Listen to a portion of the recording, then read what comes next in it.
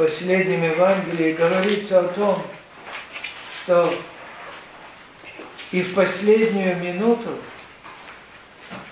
можно покаяться и получить то, что все всю жизнь каялись и служили Господу Богу.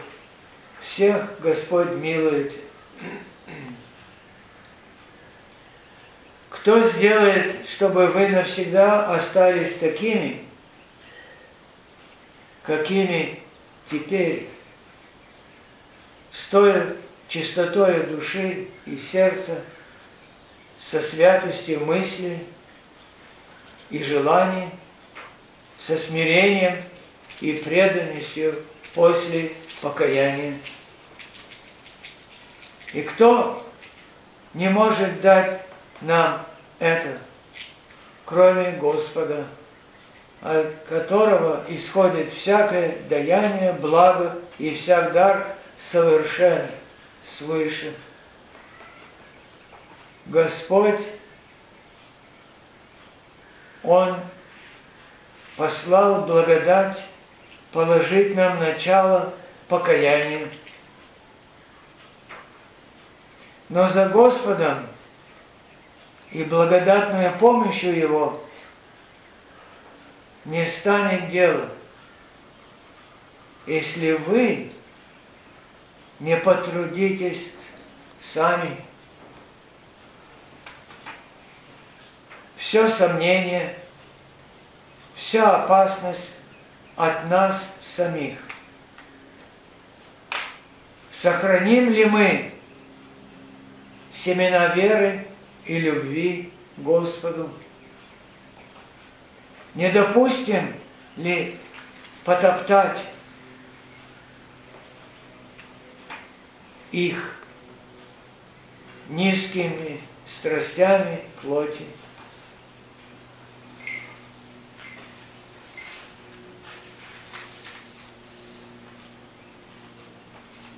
И сегодня по выходе из храма,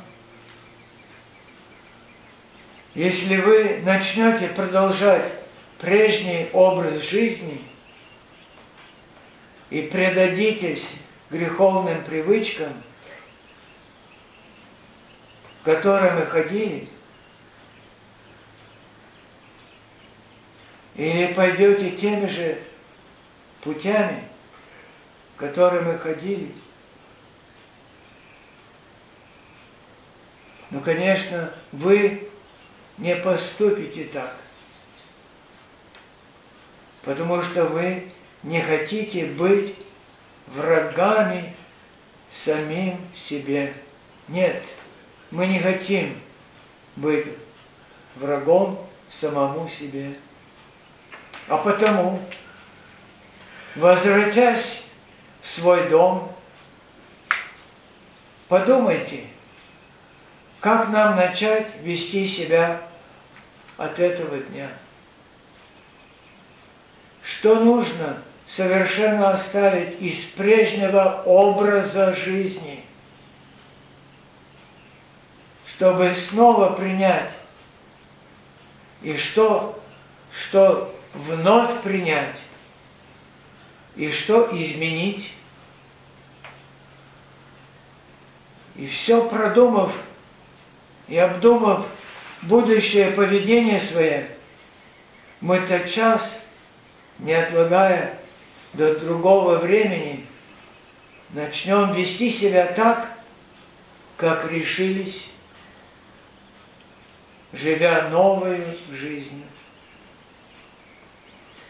Настоящий великий и святый пост есть самое лучшее время для такого изменение себя навсегда.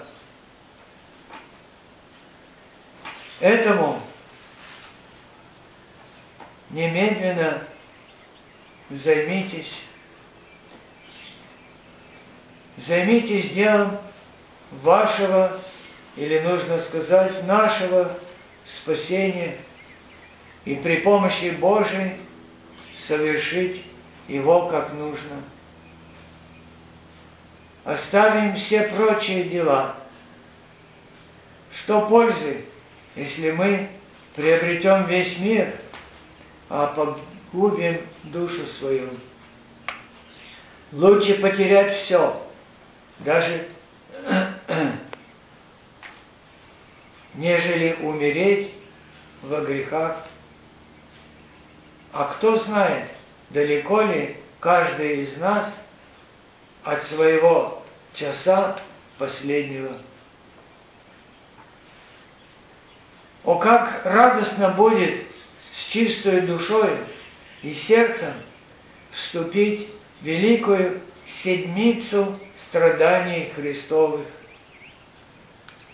С какой радостью встретить тогда мы можем светлый праздник воскресения Господня.